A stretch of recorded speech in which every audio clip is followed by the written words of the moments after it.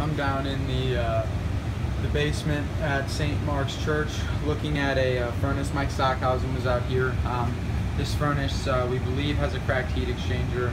Um, we know it's got a bad control board. The control board right now is bypassed just to uh, have the fan run continually. Um, so as you can see from a drain perspective, I believe there's a there's a floor drain right down here that it's currently draining into. Um, this is 125,000 BTU input furnace, 80% furnace. So our venting goes up and out into a uh, joint venting stack. So they have two different, uh, two units. This unit here and uh, the unit we're looking at are both vented out as well as the hot water heater.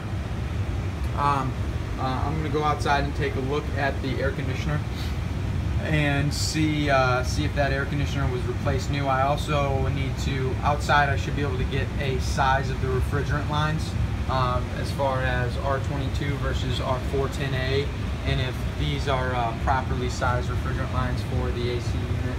Um, again, it's uh, it's a Lennox unit. They have a they currently have a humidifier um, over on the outside. The humidifier as far as its age, it looks to be older than this furnace.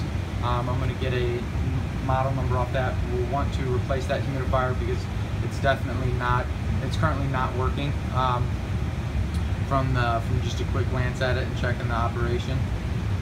Um, and that is, that is it on the furnace.